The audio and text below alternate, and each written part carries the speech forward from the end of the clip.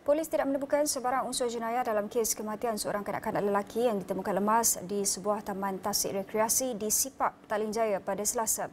Menurut Ketua Polis Daerah Petaling Jaya, ACP Syarul Nizam Jaafar, hasil berdasar yang dijalankan Jabatan Forensik Hospital Sungai Buloh mendapati tiada kesan kecederaan atau penderaan pada anggota badan mangsa yang berusia 5 tahun. Jelasnya, doktor mengklasifikasikan punca kematian mangsa adalah mati lemas dan siasatan di lokasi kejadian tidak menjumpai sebarang unsur jenayah.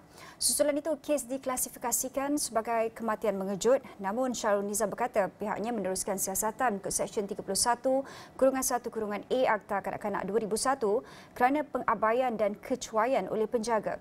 Syarul Nizam berkata pihaknya menerima laporan berhubung kehilangan mangsa yang juga merupakan pemegang kad orang kurang upaya OKU Autism kira-kira 6.30 petang. Beliau berkata mangsa dikatakan hilang ketika bermain di kawasan rekreasi terbabit bersama kembarnya sementara bapa mangsa didakwa tertidur semasa sedang memerhatikan anaknya.